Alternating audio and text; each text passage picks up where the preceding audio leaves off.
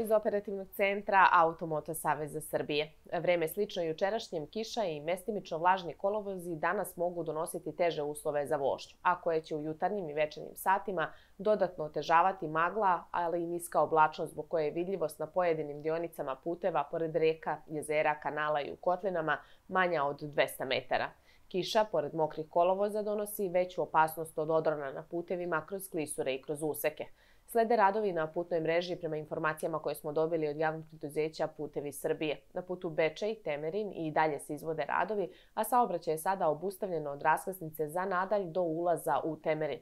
Alternativni putni pravac je nadalj Turija Srbobran. U toku je obnova regionalnog puta između Pančeva i Kovina, zbog toga se saobraćaj u zoni radova odvija usporeno. Na deonici Mihajlovac, Smederevska palanka, zbog radova koji se izvode svakog radnog dana osim nedelje, za saobraćaj je zatvoren putni pravac od mesta Globok do mesta Bačinac. U toku su radovi na obnovi regionalnog puta Kučevo-Petrovac.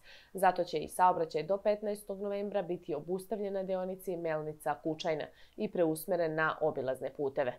Zbog radova na izgradnji brze saobraćajnice magistralnog puta Loznica-Valjevo, saobraćaj se na deonici Vera-Klajkovac u mestu Divci odvija ograničenom brzinom na 40 km na čas uz zabranu preticanja u zoni radova.